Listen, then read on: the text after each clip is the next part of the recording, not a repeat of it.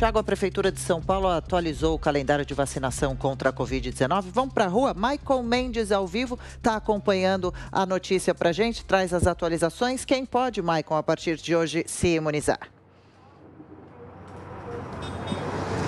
Oi, Adriana. Oi, Tiago. Olha, essa informação vai ajudar e muito quem está em casa, porque tem que deixar claro que está havendo confusão entre dois calendários, tanto do governo do estado como também o da prefeitura aqui da capital paulista. Eu conversei agora há pouco com a assessoria de imprensa e eu vou trazer os dados mais atuais para informar quem está acompanhando a gente aqui. Para vocês terem uma ideia, os números da prefeitura já foram aplicadas mais de 5 milhões e meio de doses. Nós estamos aqui no Jardim Míria, no extremo sul de São Paulo, onde acontece a vacinação da Covid.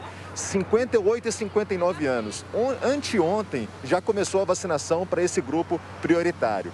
56 e 57 anos começa hoje. 54 e 55 anos na quinta-feira, 52 e 53 anos na sexta, 50 e 51 anos no sábado.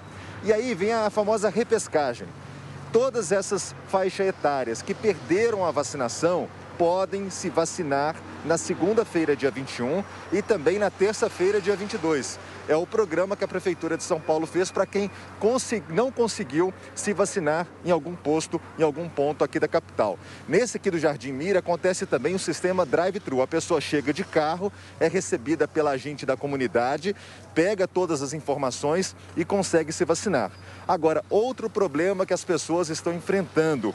O site criado pela própria Prefeitura de São Paulo, de olho na fila, não está atualizado. Esse site a pessoa entra lá, coloca o CEP da residência e consegue achar um posto mais próximo de casa para se vacinar. Só que as atualizações não estão sendo feitas. Algumas estão, outras, outras não estão. Então, mas mesmo assim a prefeitura fala para entrar nesse site, que é o de olho na fila.prefeitura.sp.gov.br para saber qual que é o posto mais próximo.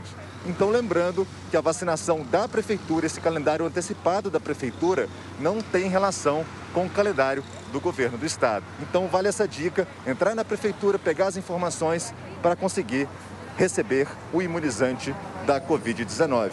Voltamos aos estúdios.